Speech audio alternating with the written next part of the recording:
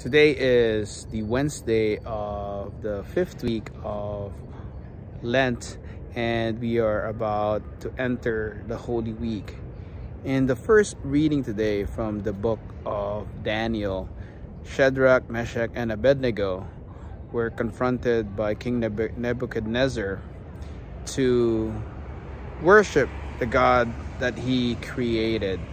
And the three men in their faithfulness to God and their resolve to remain faithful, chose to be thrown into the fiery furnace. And in the fiery furnace, King Nebuchadnezzar discovered that God came and rescued them from the fiery furnace.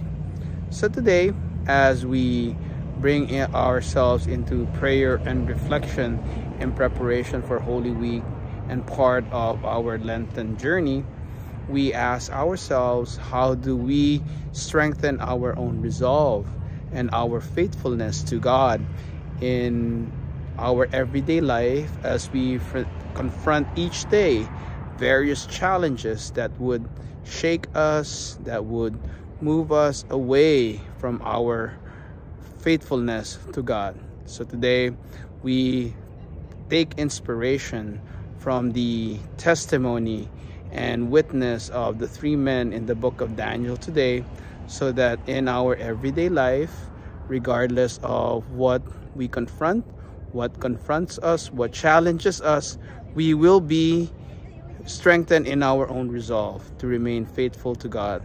And God himself will recognize that faithfulness, that in those trying moments, we can be assured that he will be with us as he was with the three men in the midst of the fiery furnace.